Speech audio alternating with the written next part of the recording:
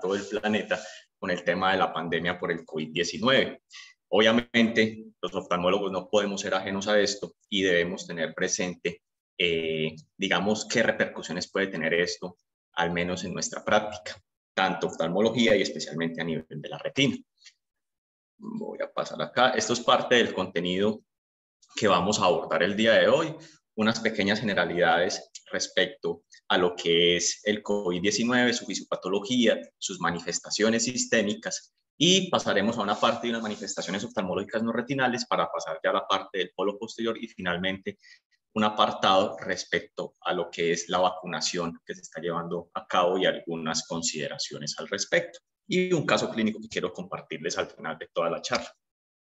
Entonces recordemos que el coronavirus es un ARN virus eh, que empezó pues a causar síntomas leves y que se empezaron a ver obviamente síntomas muy graves tanto en los humanos e inicialmente en los animales. Es un virus ARN monocatenario y los primeros reportes eh, de una neumonía desconocida empezaron en diciembre del 2019 en la provincia de Wuhan, en China. ¿sí? Y a partir de enero del 2020 ya se hizo una identificación eh, precisa del agente causal, que en este caso es el SARS-CoV-2.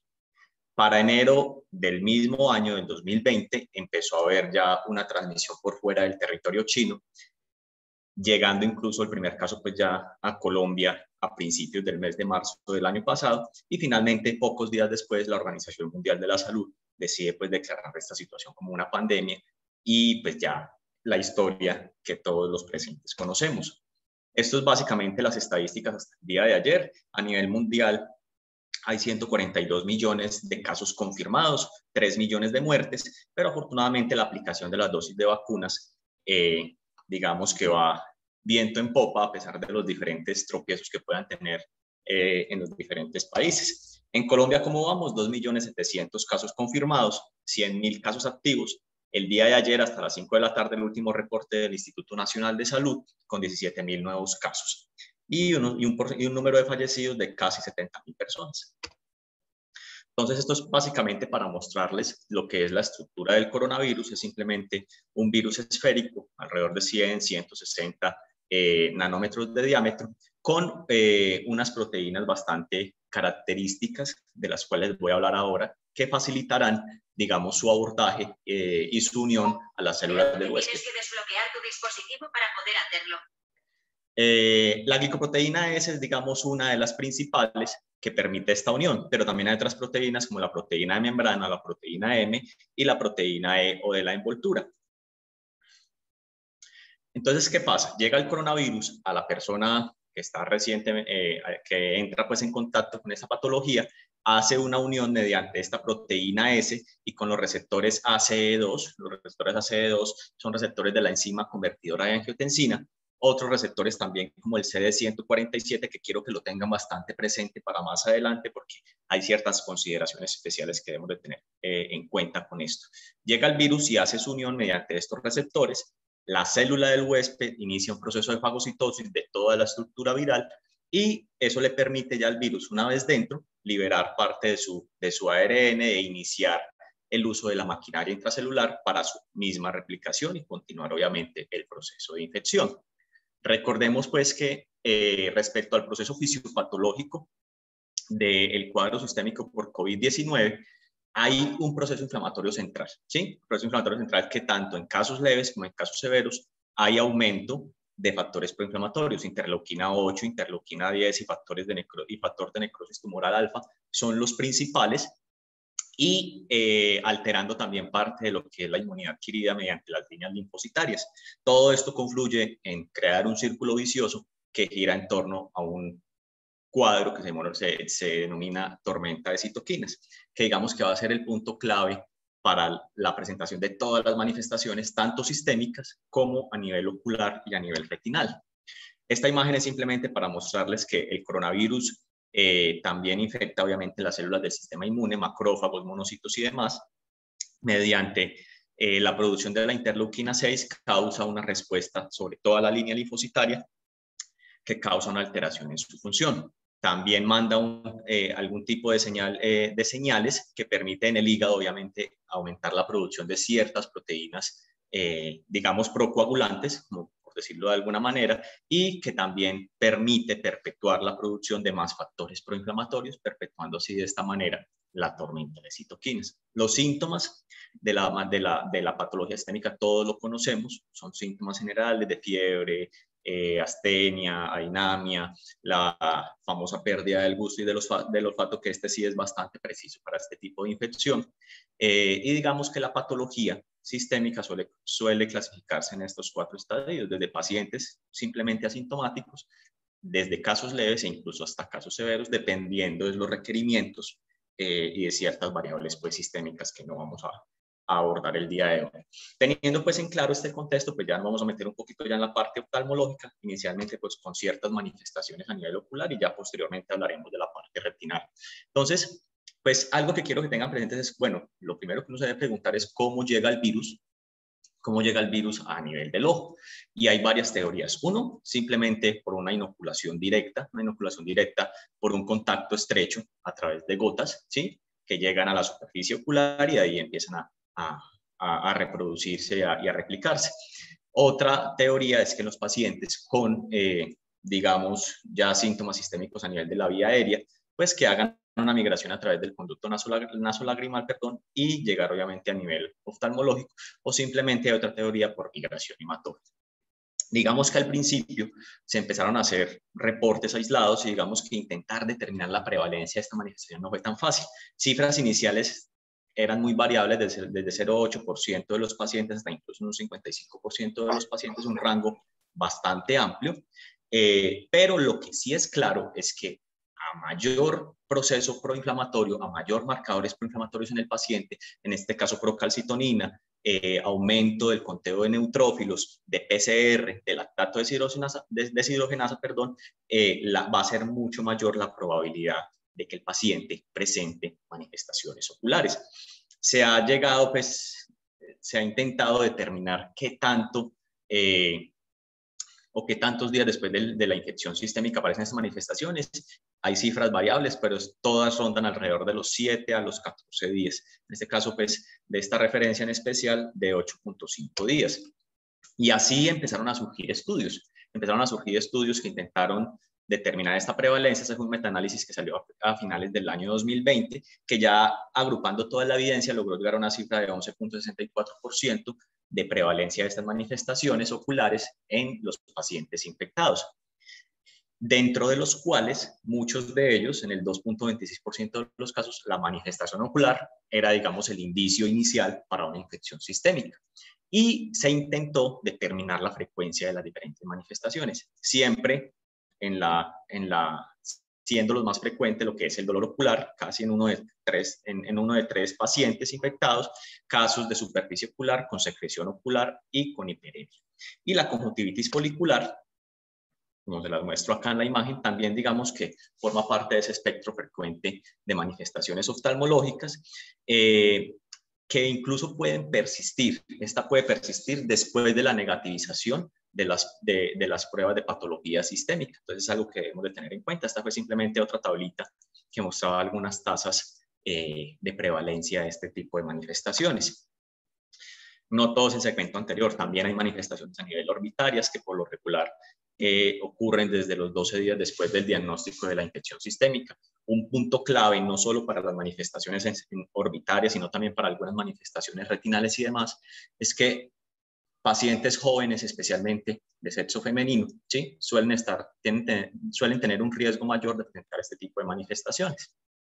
Entonces tenemos casos de bacterianitis simplemente por contacto directo del virus o por diseminación hematógena, cuadros de dolor retroorbitario que suele simular a, a los cuadros de dolor retroorbitario causados por el dengue, cuadros de celulitis orbitaria y sinusitis, derivado pues a, una, a la misma congestión de la vía aérea superior, ¿sí? Y casos de mucormicosis, pero este último caso, eh, esta última manifestación, digamos que es mucho más extraña y digamos que la relación causal entre COVID-19 y este tipo de manifestación no está del todo muy clara todavía, porque suele presentarse en pacientes inmunocomprometidos eh, o con muchas comorbilidades que, digamos, no puede, no puede uno establecer si realmente el responsable es el SARS-CoV-2. Lo que sí tengo, lo que sí quiero que tengan muy presente y que tengan claro es que dependiendo del estado inmune del paciente, del nivel, de, su nivel proinflamatorio, de coagulación, pues esto va a determinar la patogénesis y la severidad de las diferentes manifestaciones a nivel oftalmológico.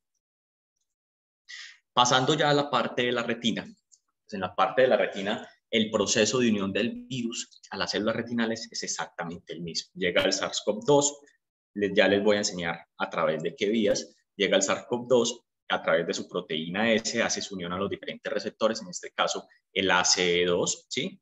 que por lo regular suele expresarse eh, lo que es en el endotelio vascular, en la glía, en las células de Müller, células ganglionares y en, la célula, y en las neuronas pues, de, la, de la capa nuclear interna. El proceso ocurre exactamente igual que en el resto del cuerpo y también la idea es que cause un desbalance proinflamatorio que permita pues, llevar a la, a la, a la aparición de la, de la manifestación.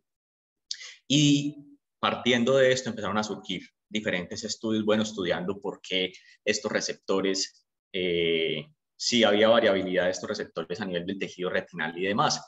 Encontraron nuevamente la misma, eh, digamos, eh, expresión de esos receptores en estas células de la retina, incluso en la barrera hematoretiniana, una de las cosas que permite que el virus logre atravesar esta medida de protección y acceder a la parte posterior del ojo, ¿sí? Pero empezaron a encontrar de que hay pacientes con comorbilidades como la diabetes y, otros, y otras patologías cardiovasculares o con ciertos efectos proinflamatorios que también podrían presentar algún tipo de estas manifestaciones y confundir, confundir si es por COVID o si son por las comorbilidades. Y empezaron a estudiar más y más y encontraron una glicoproteína especial que es el CD147 que en algunos pacientes suele estar mucho más expresado a nivel retinal que el receptor tipo 2 de la enzima convertidora de angiotensina.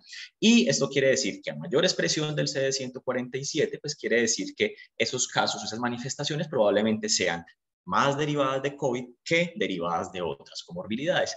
Pero siguieron estudiando, siguieron estudiando y recordemos que en la retina hay eh, una proteína que es la neurofilina 1, que en condiciones normales mantiene un balance con, eh, digamos, el factor de crecimiento endotelial vascular. ¿Qué pasa? Cuando el COVID llega a la retina y el COVID inicia su proceso de replicación, pues causa una regulación de ese VGF eh, mediante la interferencia de esta neurofilina y por lo tanto predisponiendo a la aparición de las diferentes eh, manifestaciones a nivel retinal. La vía de llegada del virus a nivel de la retina, pues básicamente son por tres teorías. Uno es simplemente por continuidad, una infección desde el segmento anterior alcance a los plexos corideos atravesando la barrera hematoretiniana. Otra de las vías es simplemente por diseminación hematógena y aquí la teoría propuesta es que se usen, digamos, leucocitos infectados como si fueran caballos de Troya para llegar hasta la circulación retinal. Y otra de las teorías propuestas a través de la vía neuronal mediante eh, una infección inicial del sistema nervioso central y un transporte retrógrado por el nervio óptico. Empezaron a seguir los estudios, ya empezaron a aparecer mucho más datos, mucha más curiosidad, mucho más curiosidad en el medio científico y este fue uno de los estudios que empezó a salir, que fue un estudio transversal. Cogieron 187 pacientes, 54 expuestos versus 133 eh, pacientes no expuestos y simplemente empezaron a hacer como una descripción de los diferentes signos a nivel retinal. ¿Qué encontraron? Pues una por un porcentaje de 9% de los pacientes con hemorragias intrarretinales, un importante, un importante porcentaje de pacientes con dilatación venosa, manchas blanco-algodonosas. Lo curioso de ese estudio es que con las tomas de fondo de ojo ellos quisieron analizar el calibre vascular, más que todo cerca del disco óptico, para ver si había algún tipo de diferencia. Y oh sorpresa, encontraron que había unos diámetros tanto arteriales como venosos medios mucho más altos con significancia estadística en los pacientes infectados contra los pacientes no infectados. Y especialmente para la, variable del diámetro venoso medio, estaba, digamos, relacionado con, con mayor severidad de la enfermedad sistémica. Eh, sin embargo, pues no, había, no encontraron una relación con el tiempo de aparición de los síntomas sistémicos. Siguieron los estudios, siguieron indagando más por el tipo de signos específicos encontrados a nivel de la retina. Este fue un estudio inicial, 108 pacientes positivos también para COVID-19, sin patología previa, y empezaron a hacer unas tomas seriadas de OCT y de fotos del fondo de ojo. Encontraron hallazgos similares al que les comenté anteriormente. Eh, en alrededor de 12% de los pacientes presentaban este tipo de signos, microhemorragias retinales, tortuosidad vascular, manchas blanco-algodonosas. Lo curioso de esto es que ya incluyeron la parte de imágenes que determinaba unas lesiones hiperreflectivas eh, con mayor frecuencia en estos casos. Siguieron investigando, siguieron apareciendo estudios, en este caso ya con angio-OCT, eh, que mostraba, digamos, en el primero fue un caso de 50 ojos eh, de pacientes que estuvieron 14 días hospitalizados, pero por fuera de estancia en UCI, obviamente pacientes sin patología retinal previa, pacientes sin otras comorbilidades, sin diabetes y demás, y encontraron, eh, digamos, una mayor frecuencia de adelgazamiento de la capa de células ganglionares, de, una, menor, una menor densidad de la vasculatura del plexo superficial y profundo y una mayor área de la zona eh, foveal vascular con significancia estadística. ¿Qué encontraron ellos también? En el caso de ellos, un engrosamiento de la capa de fibras nerviosas. Pero digamos que este punto sí hago una pequeña anotación y es que en otras publicaciones eh, ha sido muy controversial porque hay otros estudios que muestran en vez de engrosamiento, adelgazamiento de la capa de fibras nerviosas pero digamos que nos podemos quedar con estos dos sitios, adelgazamiento del, del complejo de, células ganglionares, perdón, y la densidad en la vasculatura. Este estudio fue un estudio similar, pero le agregaron la variante de los niveles del dímero D. Pacientes con infección severa o moderada pueden tener niveles de dímero D aumentados. ¿Y que encontraron? Que en pacientes con valores muy altos, la disminución de la densidad central de vasos en la retina era estadísticamente significativa, lo mismo la, una disminución de la densidad de perfusión. Siguieron los estudios, múltiples estudios fueron saliendo, todos llegando a las mismas eh, conclusiones en las imágenes, el mismo tipo de manifestaciones, las mismas tasas de aparición de este tipo, pero este estudio en particular ya empezó a diferenciar eh, en estos signos dependiendo de la severidad de la, de la patología sistémica. ¿Y que encontraron? Que básicamente en personas leves o sintomáticas no se presentaban ese tipo de alteraciones, pero en pacientes con enfermedad moderada severa, pues eh, mostraba esta disminución de densidad vascular central en relación a todo lo que hablamos al principio de un proceso proinflamatorio mayor en estos pacientes más severos. La pregunta del millón y que aún no se conoce si realmente estos cambios serán reversibles una vez que las pruebas sistémicas se negativicen o si son cambios que van a persistir en el tiempo, eso todavía, digamos, no está del todo muy claro. Bueno, una de las, una de las manifestaciones eh, principales son las oclusiones venosas retinales. Pacientes COVID-19 positivos con oclusiones de vena central de la retina o rama venosa de la retina, digamos que no presentan ninguna diferencia contra pacientes negativos en su, en su, en su espectro de presentación clínica, pero y tampoco en, en la forma pues, del tratamiento. Y todo parte del mismo, un estado procoagulante, aumento de los tiempos de coagulación, eh, aumento de los niveles de dímero y de fibrinógeno que, que, digamos, predisponen al paciente a estos estados y así empezaron a aparecer reportes de casos de todo este tipo de manifestaciones. Eh, voy a hacer una pequeña descripción de estos tres casitos que me parecieron bastante representativos, casi siempre con un factor común, es que se trata de mujeres jóvenes, eh, por lo regular, con uso de anticonceptivos orales. Este caso fue un paciente de una, mujer de 17 años, sin ningún con, único antecedente de ovario poliquístico, una pérdida súbita de la visión, dos días de, de, pérdida de hueso visual en el ojo derecho, 20-80, con la clásica presentación de una oclusión de vena central de la retina y recibió un tratamiento usual con dosis de ranibizumab con una mejoría, eh, digamos, eh, buena. Este caso fue un paciente ya, a diferencia de otros masculinos, con una oclusión de rama superior, eh, pero digamos que al no tener ningún tipo de compromiso de macular ni zona de isquemia, pues simplemente se hizo eh, se documentó y se hizo un seguimiento. Estas imágenes acá muestran pues eh, parte de, la, de, las, de las imágenes del caso 1, perdón, donde se evidencia pues obviamente un, edema claro del disco óptico con hemorragias en llama en los cuatro cuadrantes, un edema macular severísimo, eso simplemente para mostrar el compromiso a nivel pulmonar. Y en el caso del segundo, y en el caso número 2, eh, mostrar pues que no había un compromiso tan severo como en el primero, simplemente unas hemorragias puntiformes muy pequeñas y un retraso en el llenado venoso a la geografía. Devolviéndome un poquito el tercer caso, una paciente ya no joven, una paciente de 54 años, eh, que empezó a presentar cuadro de, de 36 horas con escotomas violetas en el ojo derecho sin antecedentes de importancia.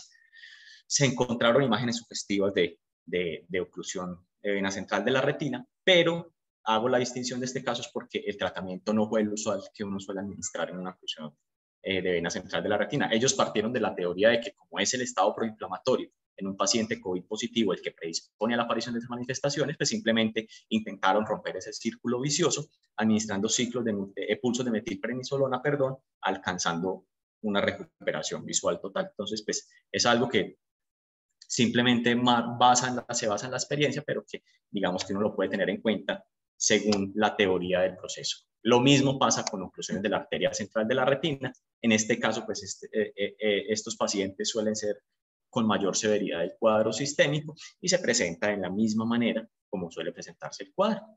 Obviamente, con mayor relación a niveles altos de fibrinógeno, de dímero D, de, y de sustancias y de, nivel, y de marcadores proinflamatorios. Perdón. Siguieron los estudios y ya empezaron a encontrar unos signos característicos que empezaron a denominar la retinopatía asociada a COVID-19. Simplemente se trata de pacientes con disminución de agudeza visual que a la OCT muestran focos hiperreflectivos con adelgazamiento de capa nuclear, de capa nuclear externa, áreas de hiperautofluorescencia peripapilar y disrupción de la zona del elipsoides que de alguna manera clínicamente hablando suele parecerse al síndrome de puntos blancos evanescentes, que suele ser pues un cuadro relacionado a, enfermedad, a contagio viral, pero digamos que en este caso la recuperación visual no es tan buena como en el síndrome de puntos blancos evanescentes. Esta, esta imagen es simplemente para mostrar como una, auto, una autofluorescencia pues parchada, eh, peripapilar y cerca pues a la arcada temporal superior, y las imágenes de OCT mostrar las lesiones hiperreflectivas, pues características de este tipo de casos. Casos tan severos como neuroretinopatías agudas maculares maculopatías medias agudas paracentrales, que por lo regular suelen estar asociados a episodios eh, virales por influencia, eh, partiendo de un mecanismo isquémico en el plexo profundo. Digamos que esto, la relación causal, no ha sido también eh, digamos, eh, estudiada para los pacientes COVID positivos porque suelen ser pacientes con muchas más comorbilidades, entonces digamos que aventurarse uno a que decir el COVID es el causante estricto de esto, no, simplemente son reportes de pacientes con comorbilidades que simplemente tienen COVID positivo, pero puede ser que más adelante, si surgen más estudios, más cosas, puede hacerse, eh, establecerse la relación causal. Entonces son pacientes básicamente con eh, lesiones hipopigmentadas y con áreas de hiperreflectividad a nivel perifoveal y en el área macular en general, con adelgazamiento pues, de las capas nucleares internas y la misma irrupción de la elipsoides. También han habido casos de coroiditis serpiginosa, en este caso es una paciente, 41 años, aparentemente con unas lesiones de base en retina, aparentemente inactivas a nivel peripapilar, tuvo infección por COVID-19, afortunadamente un caso leve, y empezó a presentar después de eso, días después, visión borrosa y metamorfosis en dicho ojo.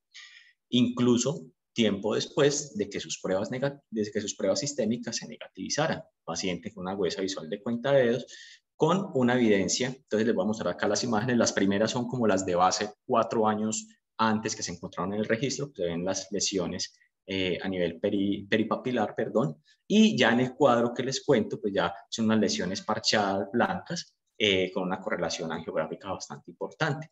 A este tipo de, a este paciente eh, en particular no tenían ninguna otra patología ni ningún estudio sistémico positivo y se hizo un tratamiento con metilprednisolona con una mejoría de la agudeza visual, bueno, digamos que no tan, no tan buena, pero, pero que algo mejoró.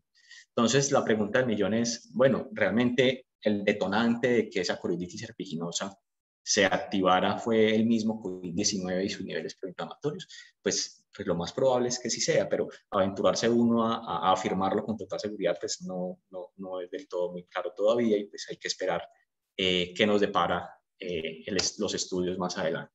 Otras manifestaciones, cuadros de vitreitis aisladas, simplemente celularidades vítreas aisladas con algunas lesiones con perfil infeccioso y autoinmune negativo, cuadros de papiloflebitis, edemas de disco con congestión venosa y algunas ocasiones presencia de hemorragias intrarretinales y cuadros de neuritis óptica que son cuadros que no suelen variar respecto a la presentación en pacientes negativos.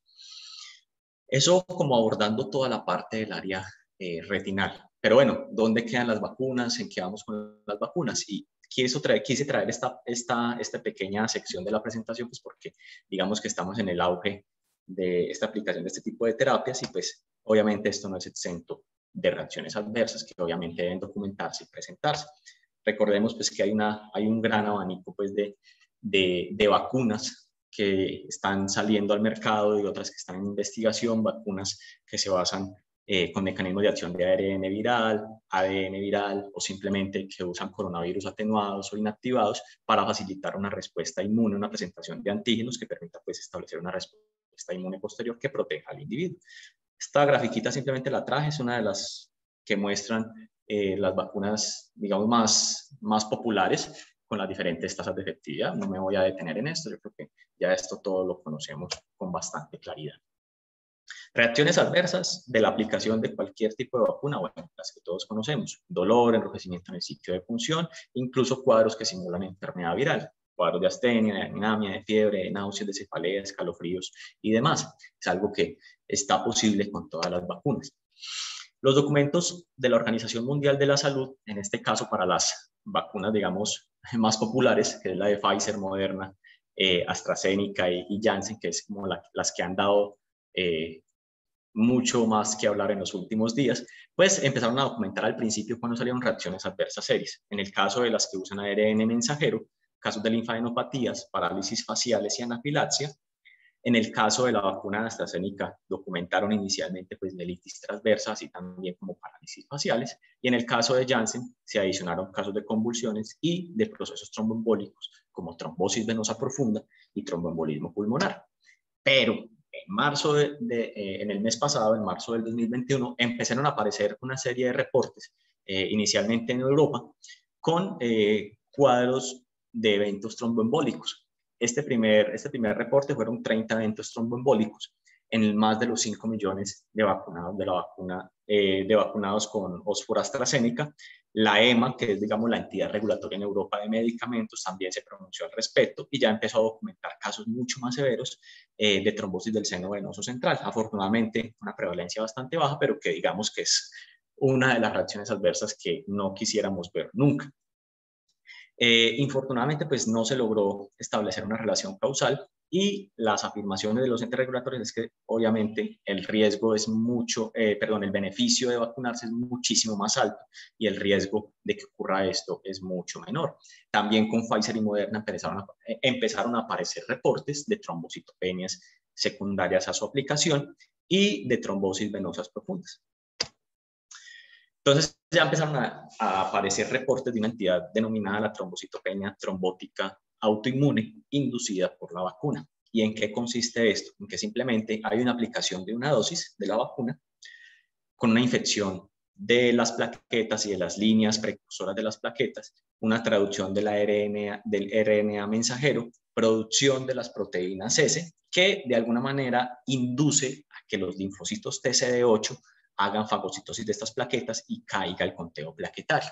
Al principio, eh, hacían una, digamos, un comparativo, digamos, o lo asimilaban a lo que era la trombocitopenia trombótica inducidas por heparinas. Pero empezaron a hacer estudios, empezaron a estudiar y encontraron algo particular, y es que estos pacientes solían presentar niveles altos, títulos altos de anticuerpos contra el factor 4 plaquetario, que causaba una, una activación plaquetaria, digamos, excesiva, que solía aparecer entre los 4 y los 16 días posterior en este, eh, estudiado en los pacientes con vacuna de Oxford AstraZeneca que habían recibido la primera dosis. De esta manera empezaron a, salir pues, reportes de casos muchísimo más severos, en este caso de una entidad denominada la trombosis del seno venoso cerebral, especialmente relacionada con la vacuna de Johnson Johnson, ¿sí? Por lo regular, mujeres jóvenes, menores de 50 años, ¿sí? Eh, que se presentan a la clínica días después de la primera dosis con cefalea intensa, cuadros de focalización neurológica, ¿sí? Y con signos pues devastadores a nivel neurológico como hemorragias intraparenquimatosas y la trombosis de los senos venosos. Una de esas pacientes incluso llegó a presentar muerte cerebral. Entonces, pues no es frecuente, pero digamos que uno podría tener conocimiento de esto. Como dicen por ahí, usted diagnostica lo que ha visto alguna vez. Si usted nunca ha visto o nunca ha leído sobre algo, pues nunca lo va a poder diagnosticar. Y a pesar de que sea bajo, debemos de tenerlo en cuenta. Bueno, ¿y en la retina qué? Después de echarles toda esta carreta de las vacunas y de los procesos trombóticos que están ocurriendo, ¿en la retina realmente hay algo relacionado con la aplicación de la vacuna? Posiblemente, pero en la literatura actual no existe hasta el día de hoy ningún dato reportado sobre trombosis relacionadas por eh, la aplicación de las vacunas. Pero vamos a darle tiempo eh, y posiblemente van a empezar a aparecer los reportes sobre este tipo de casos. Entonces, básicamente esta diapositiva la traje porque obviamente la población hay que inculcarle, hay que educarla a que no tenga miedo a la vacuna. Las tasas de, de probabilidad, las tasas de prevalencia de estas manifestaciones trombóticas son bastante, bastante, bastantísimo, bastante pequeñas eh, en personas pues, que se vacunan contra un riesgo mucho más alto de que se queden sin vacunar. Entonces, esto es lo que toca educarles a los pacientes. Esta este cuadrito lo traje básicamente porque resume eh, digamos, como los tiempos de, aparición de las diferentes manifestaciones oftalmológicas, eh, incluso desde antes de un periodo sintomático del COVID-19, ¿sí? hasta 20 eh, días, más de 20 días después de la primera infección. En el caso pues, de las oclusiones retinales y manifestaciones retinales, suele haber un espectro incluso que se presenta desde el día cero de la infección hasta incluso después del día 20. Entonces me pareció bastante interesante, es algo pues, que debemos de tener en cuenta. Finalmente, para terminar, eh, quise traerles este caso clínico. Este caso clínico es cortesía de la doctora Endo eh, y que nos deja mucho que pensar. Entonces, quisiera que, al final de todo, pues, escuchar sus opiniones respecto a este caso. ¿Qué opinan? Entonces, se trata de un paciente masculino, 52 años, personal de la salud, que eh, recibe la primera dosis de la vacuna de Pfizer. 15 días después empieza a presentar un cuadro de visión borrosa súbita. Él lo describe como de predominio en el campo nasal y, super, y superotemporal del ojo izquierdo en un paciente completamente sano, sin ningún antecedente documentado previamente. Se trata de un paciente con una huesa visual 20-20, pero que en el fondo de ojo, ya les voy a mostrar las imágenes, se encuentran hemorragias en punto, escasas superiores con tortuosidad vascular y algunos exudados.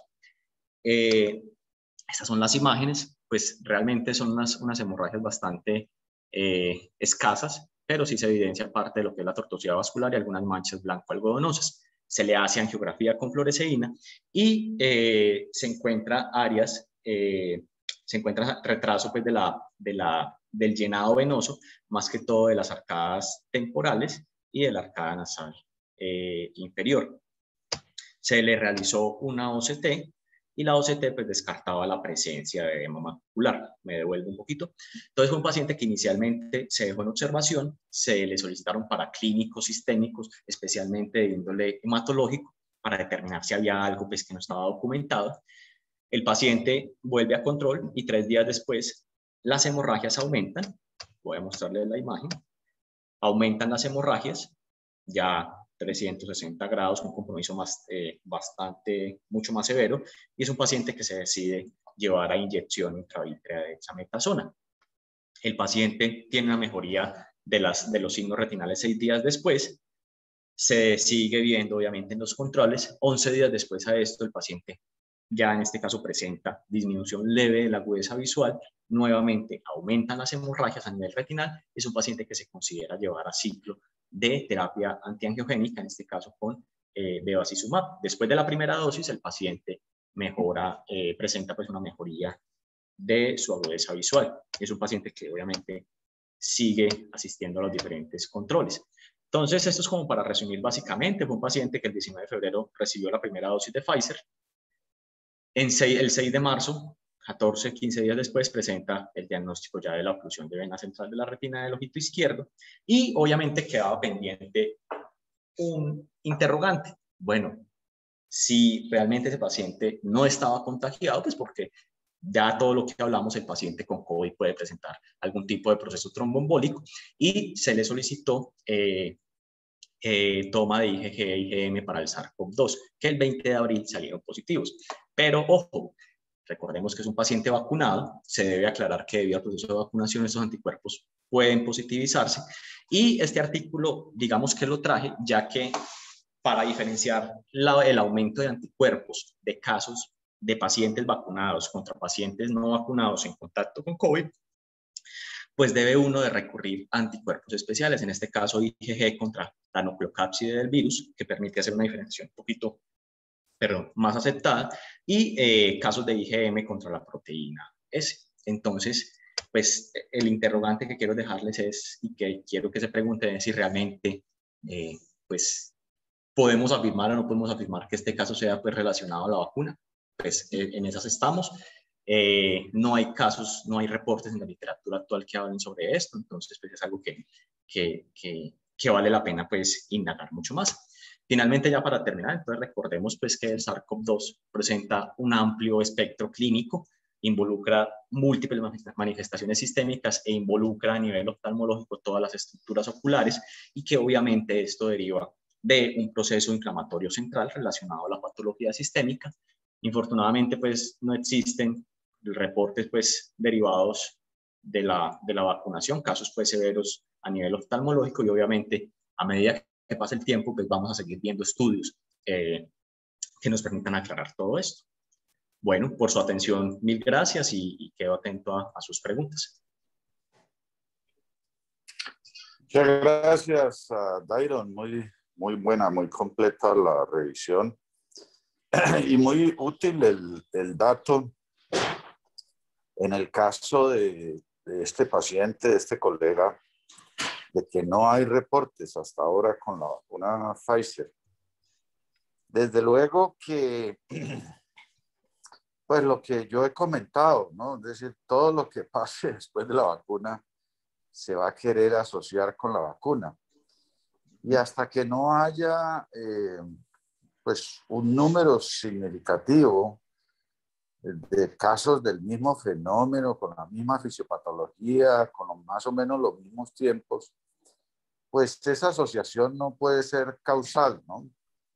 Ustedes saben toda la discusión que ha habido en Europa con AstraZeneca y ahora en Estados Unidos con Johnson, uh, de hasta dónde es causal. Cuando miran la tasa de eventos tromboembólicos regular y ven que no hay un aumento en la incidencia de eventos tromboembólicos, pues esos que miran eso tratan de decir o, defienden el punto, pues miren, esto, esto iba a pasar. Lo que pasa es que dígale eso al paciente individual que, que se pone la vacuna como a este colega, usted dígale, mire, eso no tenía nada que ver, el tipo no le saca a nadie de la cabeza. No, y el paciente no se puso la segunda dosis. No se pone la segunda dosis ni vuelve raco, pues como médico, y póngase usted en los pantalones del que le da algo después de una vacuna, eh, si para esa persona eh, eso no tiene nada que ver, es, es muy jodido, ¿no? Eh, yo creo que con lo que ha investigado Dairo, es suficiente para que escriban un reporte. Y yo creo que es un reporte que lo pueden escalar más allá de la sociedad colombiana. O sea, es un reporte que podrían publicar, intentar publicar hasta, hasta en Retina en, o en, la, el Journal de la Academia Americana, en la parte de Retina. Uh, un reporte cortico, bien sintético, bien hecho, que alguien se le ponga la pata a Beatriz para que uh, escriban ese artículo, porque pues hasta donde pudo encontrar Dairon es, es el primer caso, ¿no? Sí, eh, de trombosis venosa posiblemente relacionada con vacuna Pfizer. Lo otro es, es, que debemos estar muy atentos al síndrome de trombocitopenia trombótica pues hasta ahora eh, está escrito en Pfizer, en Johnson y AstraZeneca. Pero nadie le dice a uno que no puede ocurrir en otras. Lo que han dicho las autoridades americanas cuando sacaron la, Johnson del mercado o de, seguirla aplicando fue tenemos que educar a los médicos en la detección y diagnóstico de este síndrome, cuyo síntoma principal es dolor de cabeza. Entonces, ojo con el dolor de cabeza persistente post vacuna. Usted debe hacer un hemograma y si hay una caída de plaquetas y todos los indicadores inflamatorios están altos, la posibilidad de que tenga una trombosis del seno sagital o seno cavernoso es alta y el tratamiento es, es muy específico. No se debe usar heparina. Porque es muy parecido este síndrome a un síndrome raro que ocurre eh, como consecuencia del uso de heparina. Algunos de los pacientes muy raros que usan heparina les da este síndrome de uh, trombocitopenia trombótica. O sea, lo que parece es que las plaquetas se trombosan en sitios específicos, se consumen y por eso hay trombocitopenia. Se debe tratar con drogas como apixaban y rivaroxaban. Y si se detecta y se trata a tiempo, eh, el paciente se salva.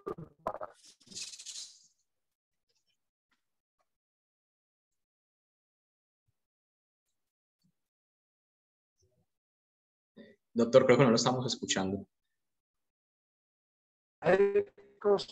Para que aprendan a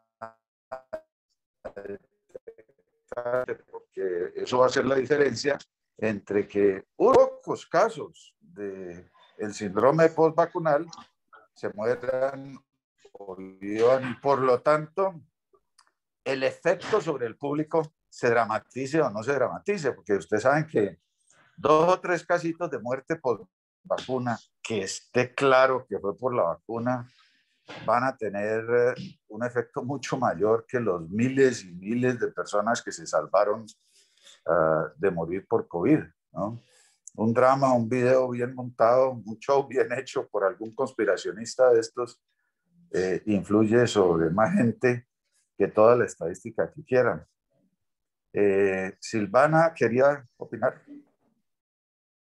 No, doctor, yo le iba a decir que ya estábamos en proceso de publicarlo con la doctora Endo, ya lo hemos, pues lo tenemos escrito y, y pues Dairon nos va a ayudar en aportarnos como lo, lo que él presentó hoy.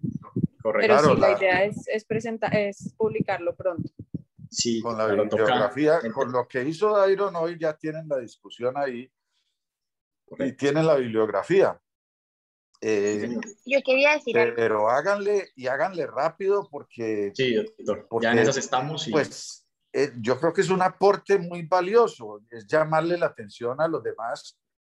Miren esto, así como Rubens Belfort publicó muy rápido los, los infiltrados retinales y entonces ya todo el mundo comenzó a pensar, pues pucha, esto puede pasar y los retinólogos lo podemos ver y de ahí pues todo ese mundo de artículos que mencionó Dairon de gente valiente que se ha metido a las UCIs a examinar pacientes, mientras que aquí todos andábamos escondidos, eh, y eh, para escribir todos esos artículos que han, que han escrito, ¿no? Ah, ¿Hay alguien más que levantó? Ah, Sí, hola, ¿cómo están?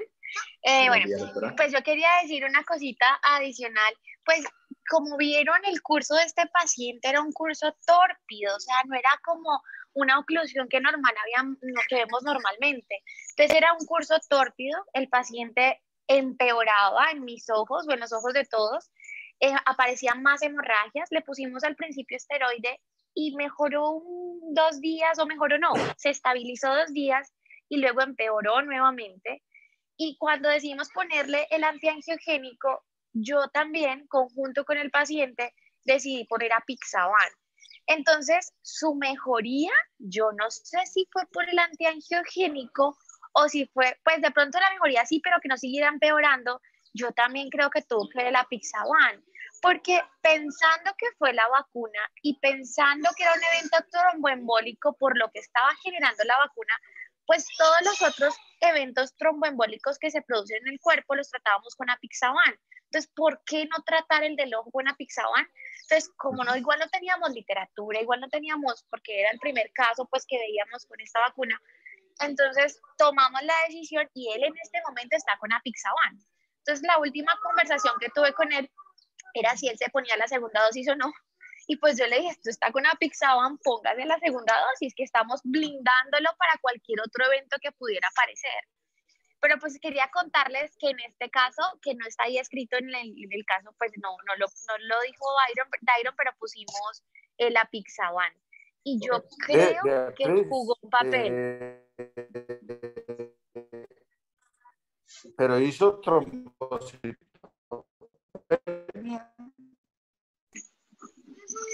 eh, ¿Aló? Aquí estoy, no lo escucho bien. No hizo trombocitopenia. No, no, no hizo trombocitopenia. No alcanzó, o sea, las plaquetas estaban normales. Todos sus exámenes estaban absolutamente normales. Le mandé plaquetas pegadas, o sea, todo lo que se puede imaginar estuvo con hematología. Hematología mandó adicionales a los míos. Le hicimos de todo y todo estaba negativo. Y a pesar de eso seguía empeorando. O sea, lo, esto era un curso no normal, o sea, era algo que tenía que ser algo diferente. Y por eso yo sigo pensando que fue la vacuna. que de hecho es un paciente sano, ¿no? Pues es un paciente que físicamente, pues no es un paciente que tenga obesidad, no tenía ningún antecedente. Eso, eso también llamaba mucho la atención y por eso llegamos a esa conclusión. Sí, muy, muy, muy valioso en el artículo, pues poner todos esos detalles, ¿no? De, todo lo negativo del uso de la Pixaban y, y, que consideremos, pues, que estemos muy atentos, porque, como les digo, es muy raro, eh, pero no sabemos hasta dónde hasta dónde, pues, esto simplemente, pues, ustedes ven con los reportes de literatura, en la medida en que se va ganando conocimiento, la gente va cayendo en cuenta de cosas y le va parando más bolas y lo que antes era muy raro, pues deja de serlo, simplemente porque uno lo diagnostica, ¿sí? Eh, entonces, uh, estemos atentos a estos síntomas, estemos atentos a pedir hemogramas, recuentos de plaquetas y a, y a considerar el uso de, estos, uh, de estas drogas. Y ojo con la heparina, pues que la heparina pues es tratamiento estándar en COVID ya complicado, pero en estos casos definitivamente está contraindicada. Doctor, buenos días. Sí. Eh, Luis Eduardo Rosero, bueno, muy buena exposición. Eh, recordemos también de que en pasados días pues, yo hice una exposición de la maculopatía idiopática y el doctor Januzzi desde años atrás ya escribía esos efectos de los virus a nivel retinal y veíamos cómo se afectaban las, las barreras internas y externas eh, ya descritas anatómicamente y conocidas por todos. Entonces veíamos los cambios a nivel del nervio óptico y en las diferentes capas de la retina, haciendo énfasis en las capas externas y afectación posterior del epitelio pigmentado retinal que podría llevar a que estos pacientes a largo plazo, eh, en estos pacientes de, de virus, eh, de enfermedad por virus, eh, tuvieran problemas de agudeza visual a largo plazo. Entonces, ahí el doctor Dairon decía que si se, preguntaba si esos procesos eran reversibles o no. En la gran mayoría de los casos son reversibles, pero se ha visto que el daño podría ser a nivel del epitelio pigmentado retinal y obviamente al afectarse el epitelio pigmentado retinal afectaría a los fotorreceptores. Muchas gracias. Bueno, no sé si hay alguien. Yo creo que eh, en nuestra mente es bueno, y yo creo que eh, Dairon nos lo mostró muy claro, es bueno mm, tener la diferenciación de la infiltración directa del virus a la retina, que puede ser eh, vía hematógena, versus la afectación endotelial del virus, pues que es el mecanismo fisiopatológico principal, uh, o el, eh, el daño o la alteración en la agregación plaquetaria de las, del síndrome postvacunal, ¿no? Entonces, entender muy bien estos mecanismos fisiopatológicos para uno entender e interpretar qué es lo que está viendo y de ahí tomar las acciones eh, correctas. Muy bien. ¿Algún otro comentario, pregunta para Iron? Excelente revisión. Muchísimas gracias, Tyron. No, muchísimas gracias a todos por, por su asistencia. Desafortunadamente lo, lo echa el confinamiento de Cali hoy. le tocó, le tocó a Tyron irse antes. Eh, pero pues le deseamos mucha suerte. Muchísimas gracias, doctor. Bueno. Bueno, tengan buen día a todos. Muchas gracias a todos. Gracias.